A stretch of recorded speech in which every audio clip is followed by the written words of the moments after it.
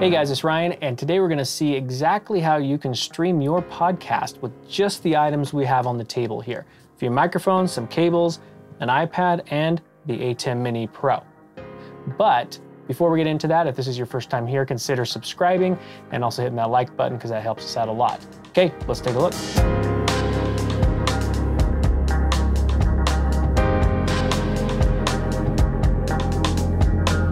All right, so let's first go through what we actually have on the table here and uh, kind of how simplistic it really is. On a few of my other videos, I've given you a couple different ways to get audio into the ATEM. Surprisingly, you don't really have to have an external mixer, but it is actually kind of a good idea after my initial testing here.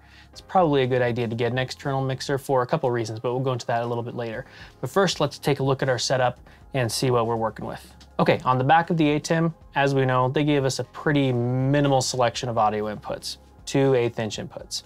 And I might have said this in a previous video that they were a balanced input, and I was actually mistaken on that. They are unbalanced inputs according to Blackmagic. But what these inputs actually are, are stereo inputs, unbalanced stereo inputs. Now, I'm not exactly sure, there's gotta be a mic pre in there somewhere that uh, allows you to boost mic gain. There, it just, it, there has to be uh, to boost that up to the proper levels. but you can't have, technically can't have a balanced microphone preamp, so I'm not exactly sure how they're doing it. Uh, I'll have to look into that and, and get back to you guys. So let's look at what we're, we're going to be using today. We have four of our tried and true SM58s from Shure, just basic vocal mic, right? I've got four cables over here that go from XLR to eighth inch. And then I've got these guys, which are going to allow us to patch into both sides of that input. Then we've got our iPad and of course our ATEM Mini Pro. So let's take a look at all of these components that we have and go through the process of how we're gonna plug each of them into the ATEM. Okay, so let's talk about these cables really quick. First one we have here, this is a female XLR to eighth inch connector, okay? So what this is gonna give us is it's gonna take our microphone signal, which is, you know, off of a mic, it's balanced. It takes just one pin, so it unbalances it and send it, sends it to this guy. So let's open up this, this one here. I just got this at my local um, audio shop. This was made, they, they custom make these. This is Mogami 2314, okay? And really good cable, Mogami makes great cable. And then what they've done is they've taken the output, and it's just a single conductor cable with a ground, and they're taking pin two. So pin two hot is what they're taking right here. And then they're jumping pin three and ground right here. So this is ground, this is pin two, this is pin three right here, okay? So they're just taking that and they're they're jumping the ground in pin three. All right, so it unbalances the signal. So this company makes these kind of cables specifically for um, camcorder recording. So, so for like a shotgun mic or something like that. So if you're running a like a DSLR and you have a shotgun mic or something like that, like a battery powered shotgun mic, then this kind of cable will work. So we're using it. Let's jump over to this eighth inch side. So here is the inside of this guy. Now this is a TRS tip ring sleeve, but what they've done is they've taken this cable here. You can see it right there can take it and they've they've combined the tip and the ring together. So it's sending the same signal to both sides.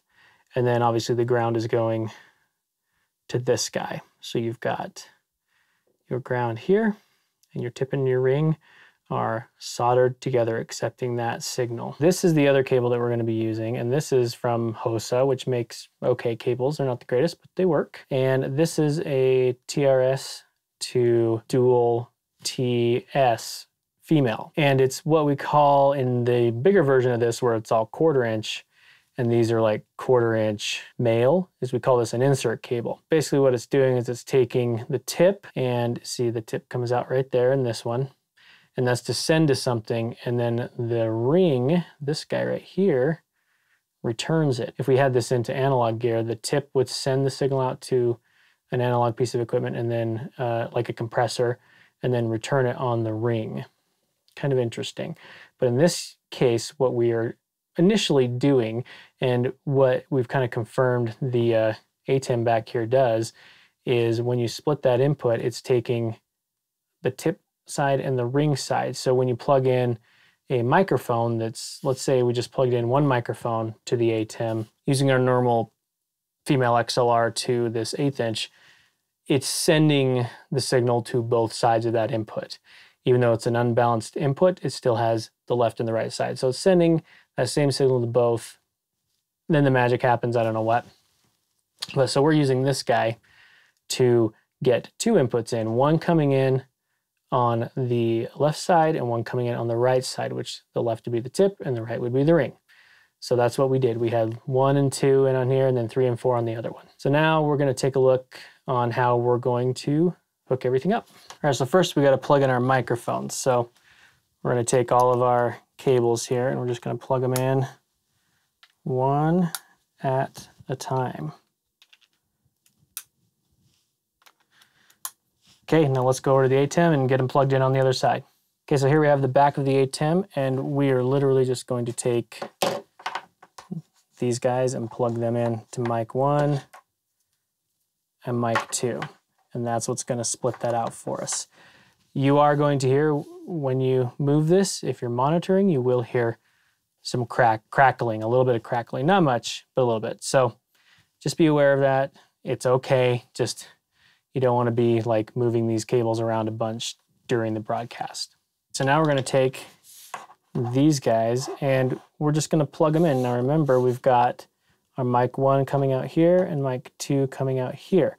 And tip, or the black one here, is going to be one, two, and then mic two will be input three and four. So make sure you're plugging in the correct cables here. So we're going to go one, two,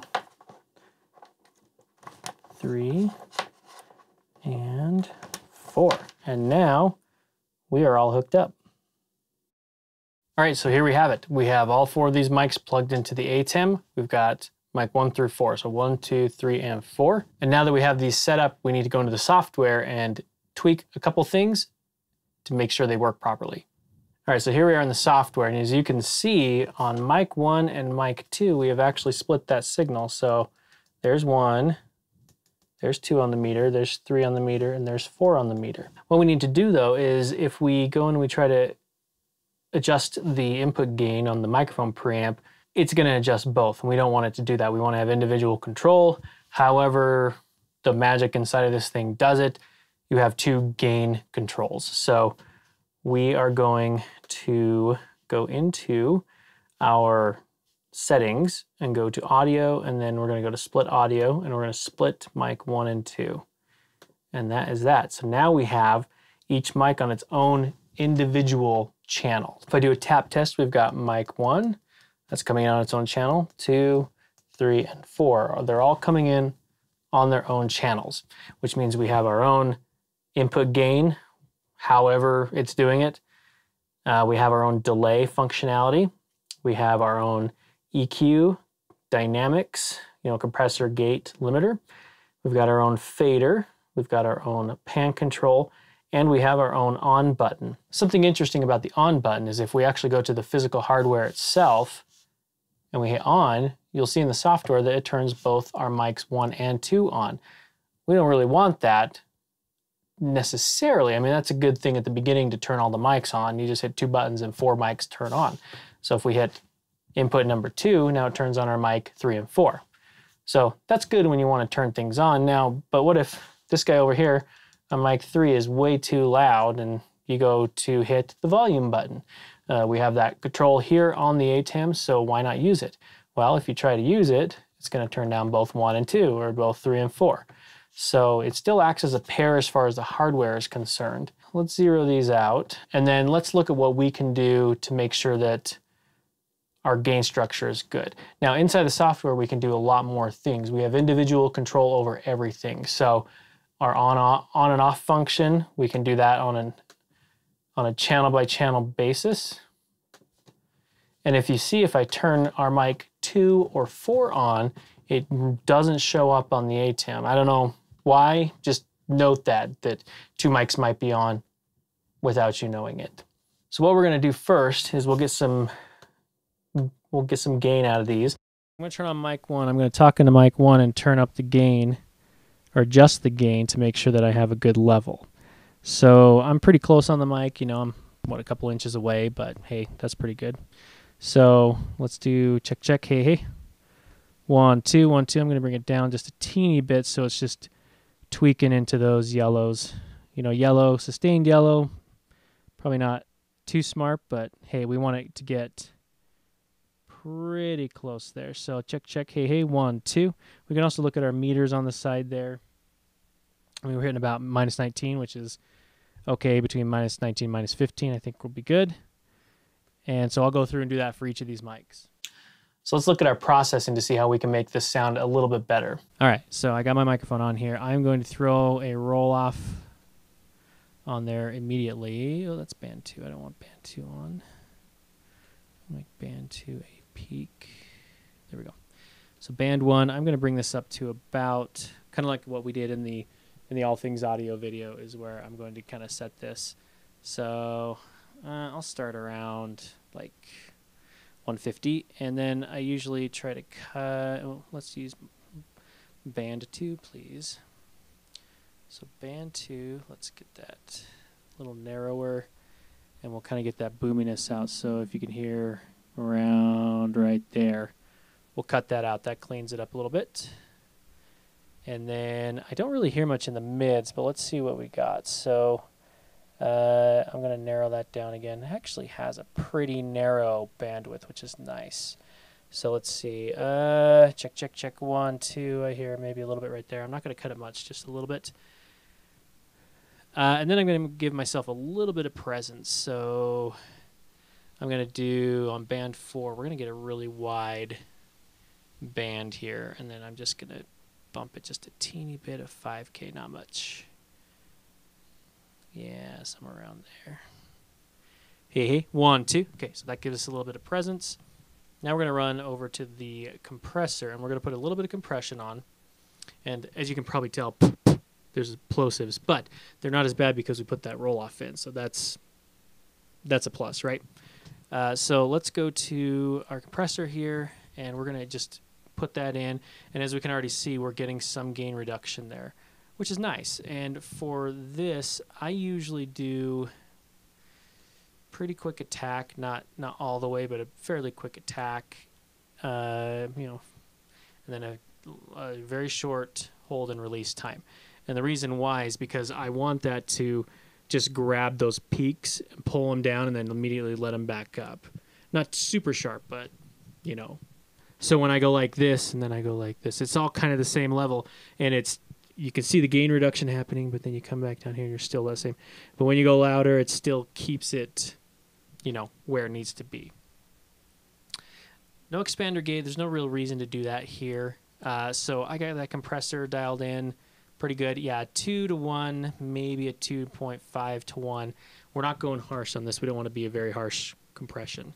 So we want to keep that relatively smooth. Uh, threshold, I didn't adjust it because it's pretty good. Like we're hitting, you know, minus, between minus five and minus 10 is what I'm seeing there. So we're going to keep that there and then we'll go down the line and what we'll do is we'll just copy these, these settings over. Now I haven't found a way to actually copy these settings. You have to just go in and do them individually and then don't turn off your ATEM because you'll lose them all. So, yeah, that sucks. Come on, Blackmagic, let's get on that, please. Oh, the last thing we need to do on our compression before we go to the other channels is if you see here on the input, I'm hitting, you know, minus 15 and minus 10 on the peaks, maybe minus 15 RMS. Uh, I need to, because we're reducing the gain here, I need to adjust this. So that's called our makeup gain. So I'm going to take our makeup gain and just bump it a little bit so it's hitting the exact same levels as our input gain. So uh, that's about right. Maybe I'll bring it back just a teeny bit to be on the safe side. Hey, hey, check, check, one, two. Now let's bump it up. Check, check, one, two, one, two, one, two. Hey, hey, hey, hey, check, check. Okay, that's good. Now I'm going to go put this across all these mics. So obviously with these microphones, you're going to have to set your delay right here uh, on each of them and delay them to whatever your main camera is. So if, if you have like uh, a close up on the main presenter, main host, you probably want to delay things to their microphone if you do have or to their camera, their main camera. So let's set up our iPad. So I'm going to switch over to the iPad here. And you can use this as your um, your playback. So you can play back audio clips, you can play back video clips if you want, because technically it's an HDMI input. Uh, so you can do a lot of things. And I have this uh, program. It's it's uh, called um, Go Button. It's from QLab.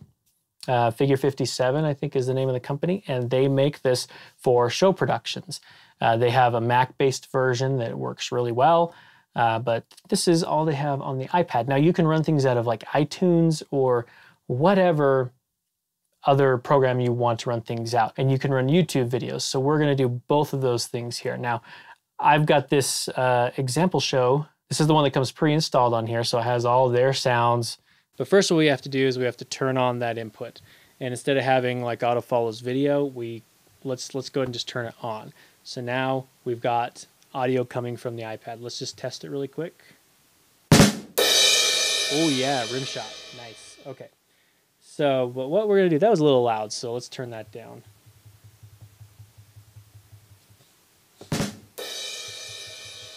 Hey, that's pretty good. So if I talk into this mic here, and hey, uh, what did you say? Uh, oh, that was too bad.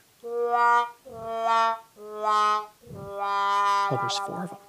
And then we've got Woo, yeah. Woo. Yeah. Okay. And then that fades all the cues. So that's a that's a button that uh, I don't know if you can see me hitting those.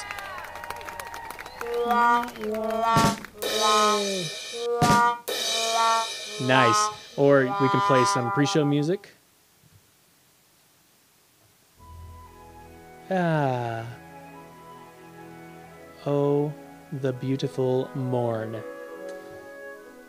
Uh, we can we can pause that. We can go to two. Ladies and gentlemen, boys and girls, children of all ages. Hey.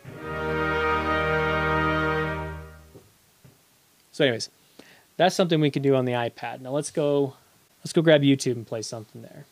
All right, so let's go back and play a video. We'll play off of here. We should bring it up and start right into it. Hey guys, it's Ryan. Hey, today we're going to look at the top five features that are on the ATEM series of switches. What ugly That's mug is that, Mini, eh? The ATEM Mini Pro and the ATEM All Mini right. Pro ISO. So, Ooh, that's a fun face. so anyways, you can run video, you can run audio clips, you can pretty much do whatever you need to do off of an iPad. Uh, you can do it off of a computer as well, and then have these four mics plugged in. And with this setup, you can run your entire podcast without an external mixer. But there's a couple reasons why this it's a good idea to have an external mixer. So let's start with these microphones. I'm going to turn them all off. And if you notice, I still have the audio up from our program send. So I've turned off, you'll see in the software, I've turned off all the microphones and I still have the audio up uh, from the ATEM. It's not muted on, on my edit right now. So it's pretty quiet, right? If I turn on, let's just turn on one microphone in the software. And you can hear it. Now this microphone is on, but you can hear it. One, very, very faintly, there's a 60 cycle hum. And two is that hiss, that noise floor. It. So if we add another one, it gets a little bit louder with hiss. We add another one, it gets even more. And then it just builds upon itself and gives us this annoying noise floor. And that just means they're really dirty inputs, which is annoying. Now, one on, if you're running one in a line level configuration from a mixer, you'll probably be okay. It's it, you won't be able to hear it as well. Okay, so as you can hear, we have that annoying, like I'm on this mic, all these mics are still on, and there's that annoying hiss. And you're not going to have that in a more professional mixer. You're just not. It's going to sound nice and clean, maybe a teeny bit if you have some compression in there. Now, is this something you could do in a pinch? Yes. If this is all you have, you can do this. It's cheaper to buy a few cables than it is to go buy a mixer. But for like a hundred bucks, you can buy a relatively cheap mixer and a cable to get to get you by. So that about wraps it up. That is how you can stream your podcast with just the ATEM and a few cables. Now, obviously, these microphones would be sitting here in front. I gotta say it because some troll's gonna come along. Mm, you wouldn't put your microphones like that. Yeah, I understand. You put these in front of the people, kind of a round table situation. That's what that's what you do, right? So that is it. We kind of just did a practical use case. If this is all you have, it can be done. Uh, I would say probably not your best bet, but you know, give it a shot. See what you think. Now this is with basic. Your, you, this is your basic, uh, decent quality still dynamic microphone. So we didn't. This doesn't supply any kind of phantom power to microphones. So using a condenser mic probably not going to work unless you have some sort of external preamp like this guy. This is this is the uh, ART or ART Studio V3. It's a tube tube MP uh, microphone preamp, so it's got a little tube inside there. Sounds okay. You know, this is a this is a regular microphone preamp, right? So it is going to have a balanced input and a balanced output. You might run into some issues with a balanced output. So what I would suggest with this is if you have even more cables, and this is kind of a secondary thing, not only do we have four microphones going into here, I've got three different cameras going, all with microphone inputs. So you could technically run up to, let's in this configuration, if I've got three cameras, I could run up to um, seven inputs. And if I have another camera instead of a computer or an iPad input, that gives me eight microphone ins that I could do with up and down volume control on the surface itself. Not too bad. Now that's gonna wrap it up there. I hope you guys liked it. If you did, please subscribe, thumb up us if you can, and then uh, we'll keep kind of going down this road in a few videos coming up and seeing exactly what we could do. I'm gonna bust out another mixer and hopefully we can integrate that with our ATEM to do kind of more of a professional uh, shoot, let's say. The biggest thing though is comment below. If you have any questions about our setup here uh, and what I've done, what your, what your thoughts are on it, um, put it in the comments and I will do my best to answer. So thanks for tuning in guys and we'll see you next time.